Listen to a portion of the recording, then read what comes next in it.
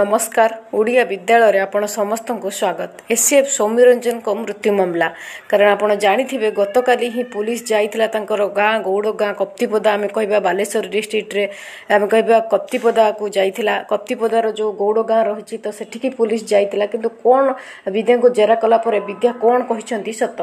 ଆରି ଭିତରେ ଆପଣ ଜାଣିଥିବେ କାରଣ ବହୁତ ଦିନ ବିତିଗଲାଣି ବାଇଶ ଦିନ ବିତିଗଲେ ବି ଏପର୍ଯ୍ୟନ୍ତ କୌଣସି ସତ ବାହାରି ପାରିନାହିଁ କାରଣ କେବଳ ତଦନ୍ତ ହିଁ ତଦନ୍ତ ଚାଲିଛି। କାରଣ ଅଲରେଡ଼ି ଆ ପୂର୍ବରୁ ଆପଣ ଜାଣିଥିବେ ପ୍ରଥମ ତଦନ୍ତ ହିଁ ଫାଷ୍ଟ ତଦନ୍ତ ତଦନ୍ତ ସରିଯାଇଛି। ତ ସେଥିରେ କୌଣସି ସଫଳ ମିଳିପାରି ନାହିଁ କି ସୌମ୍ୟଙ୍କ ପରିବାରକୁ କୌଣସି ନ୍ୟାୟ ମିଳିପାରିନାହିଁ ତେଣୁ ସେକେଣ୍ଡ ଟାଇମ୍ ଯାଇଥିଲା କାଲି ଆମେ କହିପାରିବା ପୁଲିସ ଯାଇଥିଲା ବିଦ୍ୟାଙ୍କ ଘରକୁ। ତ ସେଠି କ'ଣ ଜେରା କରାଯାଇଛି କ'ଣ ସତ ଓଗାଳିଛନ୍ତି ଆମେ କହିପାରିବା ଦୁଇ ଜଣଙ୍କୁ ହିଁ ସତ ଓଗାଳିବାକୁ ଯାଇଥିଲା ପୁଲିସ କାରଣ ଡ୍ରାଇଭର ଜଣେ ଥିଲା ସେଦିନ ରାତିରେ ଆମେ କହିପାରିବା ବିଦ୍ୟାଙ୍କ ବାପା ମାଆଙ୍କୁ ନେଇକି ଯେଉଁ ଯାଇଥିଲା କଟକ ତ ସେଇ ଡ୍ରାଇଭରଙ୍କୁ ଜେରା କରିବା ପାଇଁ ମଧ୍ୟ ପୁଲିସ ଯାଇଥିଲା।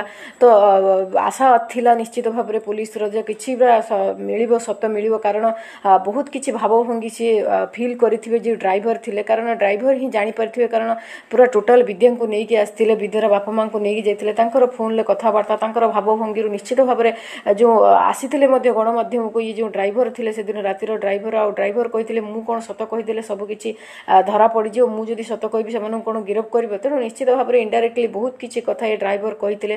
ତ ଯେହେତୁ ଗଣମାଧ୍ୟମରେ ସେ ଏତେ କଥା କହିଥିଲେ ତାପରେ ହିଁ ପୁଲିସ ଯାଇଥିଲା। ଗତକାଲି ଆମେ କହିପାରିବା ବିଦ୍ୟା ଆଉ ଏ ଡ୍ରାଇଭରଙ୍କୁ ଜେରା କରିବା ପାଇଁ। କିନ୍ତୁ ବର୍ତ୍ତମାନ କଥା ଆମେ କହିବା ତ ଜେରା ପରେ ପୁଲିସ ପୁଲିସ ପକ୍ଷରୁ କୌଣସି ବର୍ତ୍ତମାନ ସୂଚନା ମିଳିପାରି ନାହିଁ ଯେ କ'ଣ ସେମାନେ କହିଲେ କେତେ ସତ ଉଗାଡ଼ିଲେ। କିନ୍ତୁ ଏପଟେ ଆମେ କହିବା କଥା ସୌମ୍ୟଙ୍କର ଯିଏ ରହିଛନ୍ତି ବଡ଼ ଭାଇ କହିପାରିବା ତ ବଡ଼ ଭାଇ କହିଛନ୍ତି ଏ ଡ୍ରାଇଭର ସେଦିନ ରାତିର ଡ୍ରାଇଭର ଆଉ ବିଦ୍ୟାଙ୍କୁ ସିଧା ପୁଲିସ ଷ୍ଟେସନ ନେଲେ ହିଁ ଜଣାପଡ଼ିବ ମେନ୍ କଥା ଆମେ ବିଦ୍ୟା କଥା କହିବା ଡ୍ରାଇଭର କଥା ନୁହଁ। ବିଦ୍ୟାଙ୍କୁ ହିଁ ଗିରଫ କରାଗଲେ ହିଁ ସେ ପୁଲିସ ଷ୍ଟେସନ ଗଲେ ହିଁ ସବୁ ସତ ବାହାରିବ।